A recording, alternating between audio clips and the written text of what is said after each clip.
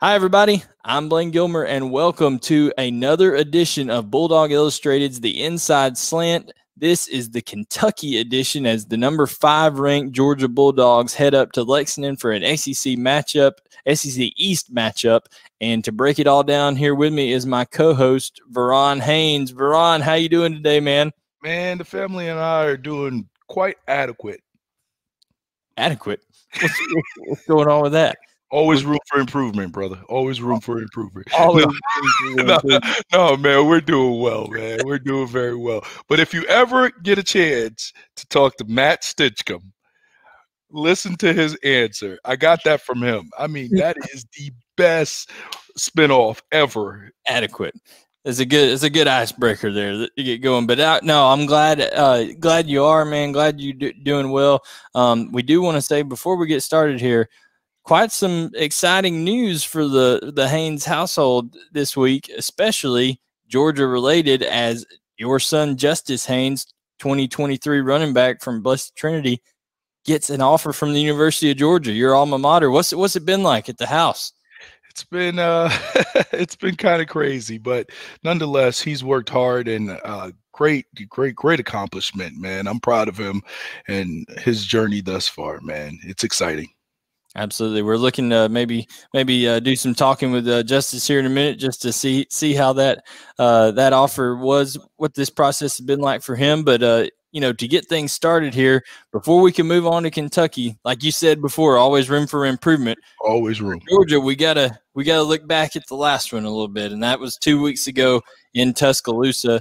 Um, you know, tough, tough one to look, tough one to look back on, huh? Exactly, a, t- a tough loss for for Georgia. Uh, not able to get over that hump against Alabama just yet. Um, but you know, Ron just wanted to real quick over you know your observations over the the loss to Alabama. I think that coach summed it up well. We had him on the hook. we had him on the hook, man.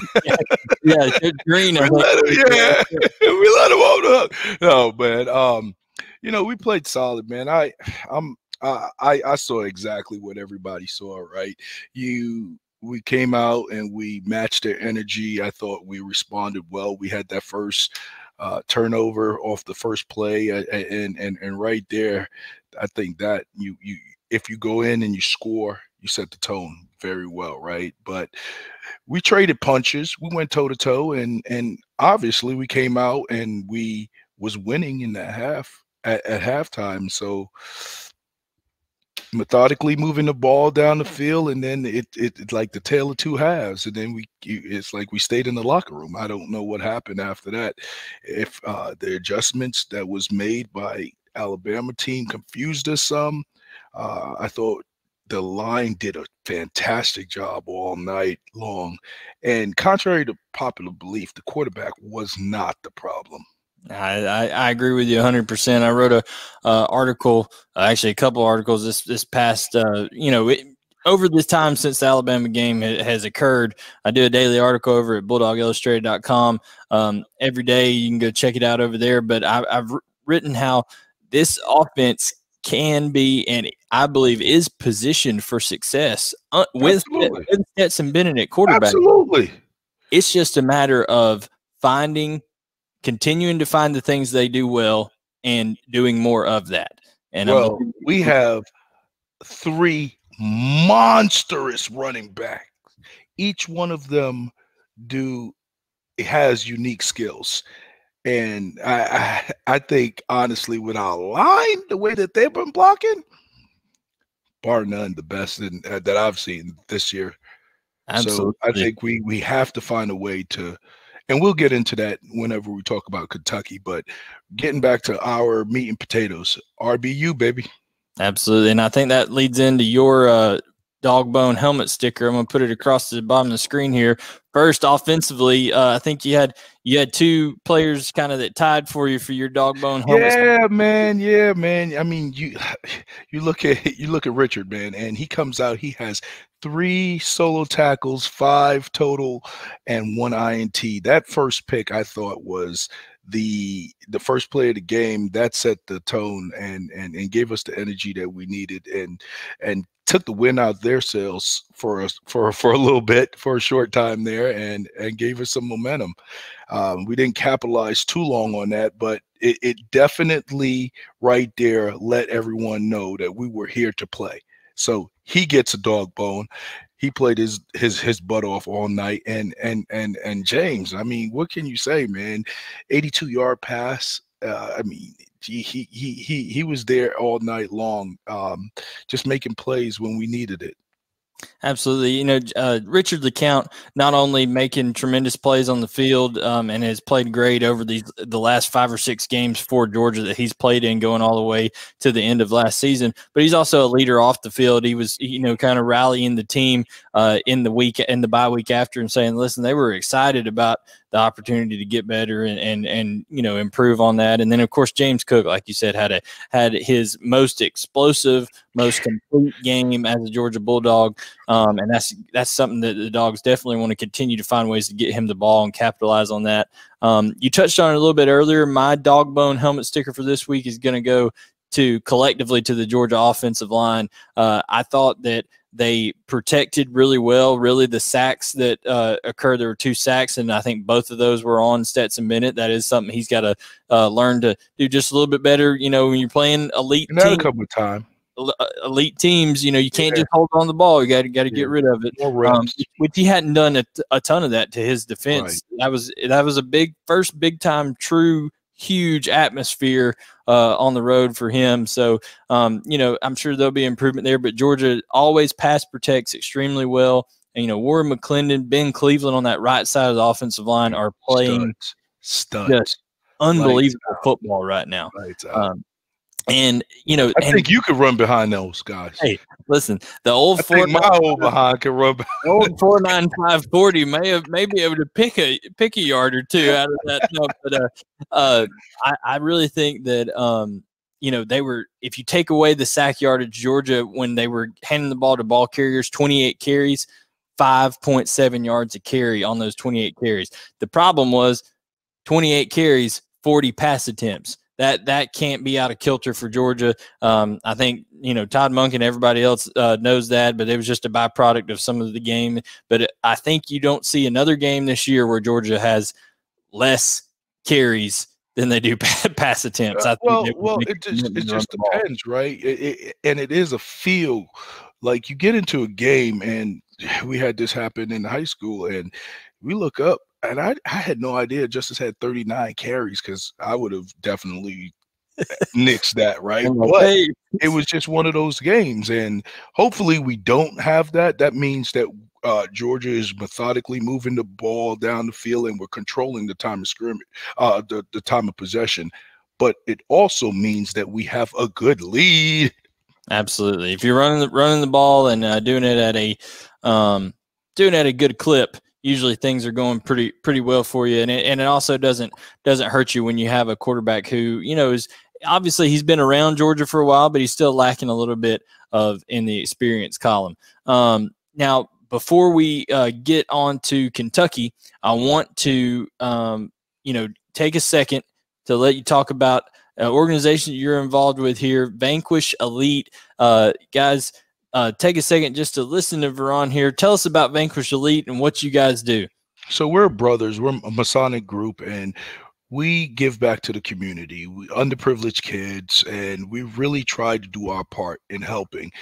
Last year, we were very fortunate to provide care to three members of Forest Park High School that uh, we sent them to college, and and and and and that was such a blessing, you know. And we try to do that as much as we can, and get out here and just, you know, do our part in in charitable work. Absolutely. And just like it's spelled on the screen there, vanquishelite.com. You can go there, find all the information. There's a there's a link on there to, to donate. Uh, so donate, you know, see what you can do. There's they, they have golf tournaments, all kinds of stuff. So uh, go to vanquishelite.com and see what you can do to to help out the cause. And when the when we do have the date for the golf tournament, I will definitely post it and It's a bunch of bulldogs come out. Hines, Ward, I believe. Yeah, you you you got a Robert Edwards, Marcus Stroud, Richard C. It's a bunch of guys that come out and give their time, and I, I and, and I'm thankful for that. Absolutely. Uh, you know, so check it out, vanquishelite.com, uh, dot com and you can be a part of that. Now, um, Verron, you know, getting to Kentucky here. Uh, obviously, Kentucky coming off a, a, tough loss to Missouri. They lost uh, 20, 20 to 10. They've, they've lost to Ole Miss uh, earlier this year in a, in a shootout. So they had a defensive game against uh, Ole Miss, you know, 20 to 10, where they only ran 36 plays and got killed on time of possession. And then, of course, they had a shootout with the lane train over there and Ole Miss, which that's a whole nother thing in, in, in, in itself you could talk about. But uh, just give me, you know, going into this Kentucky game, first first impressions of of Kentucky as a team, and kind of what what you think this game how it how it sets up. Well, I think you and I talked off air about this. Strange things seem to happen when we play up there in, in Kentucky, right? So it's it's definitely they're they're a good team. Um, they're in the SEC, so there's no easy games. Um, if we get back to doing what we do best, which is methodically moving the ball, don't turn it over, controlling the time of possession, and playing stellar defense like we have been, I think we win this game. Yeah, you know, it, it's gonna it's two teams that really kind of pattern themselves in the same fashion. Uh, yeah. I know that I know that uh, there's been a couple of times this year where Kentucky has given up some points, but mm-hmm. Mark Stoops and Kirby Smart are kind of cut from the same cloth. They're defensive coaches that want to have a, a hard nosed football team. And uh, sometimes stylistically, when you play a team that is a lot like you, that can be a tough matchup. Whether Lane, make no mistake about it, it has been echoed throughout that locker room and on that bye week that we are going to get back to doing what we do, and that is tough SOBs out there, have flying around having fun and and and and I think we're going to go have an opportunity to see us play our best game thus far. Absolutely. So, uh, and you talked about the the three backs before.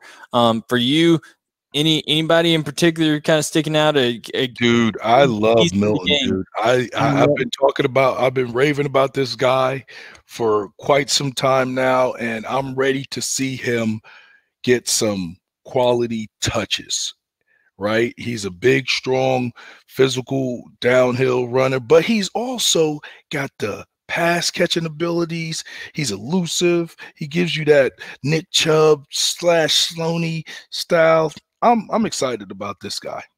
Absolutely. A lot of people are, are really, really high on, on Kendall Milton. Some of the stuff I've gathered from, uh, you know, around the program, uh, sources that I have uh, say that that is not just an external feeling. Uh, the, I think Georgia themselves, it, it, really feels that they have something special there in Kendall yeah. Milton.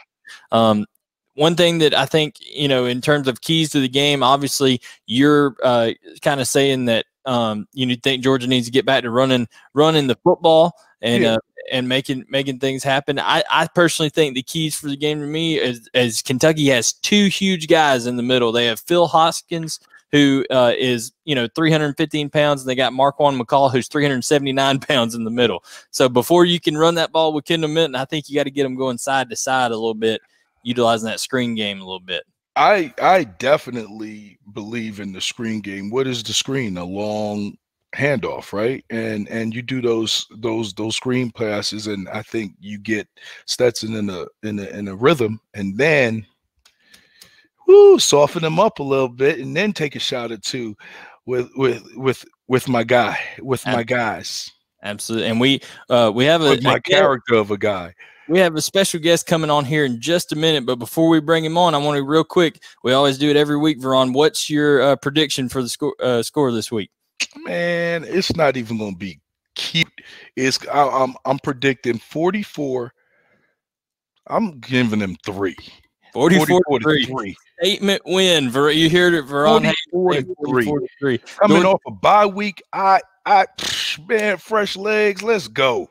Georgia's a 15 point favorite. Uh, I'm going to say Kentucky plays tough defense to start off with just because Mark uh, Stoops is a, is a tremendous coach. I'm going to say Georgia uh, ends up 38 to 17. I think 38 17 is going to give uh, the give give that to Kentucky to start off with. But